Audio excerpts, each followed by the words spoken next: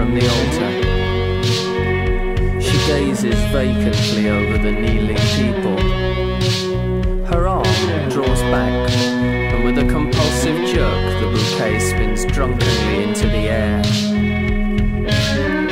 Every eye watches the crazy arc, the mocking rainbow, the illumination of this ghostly crowd.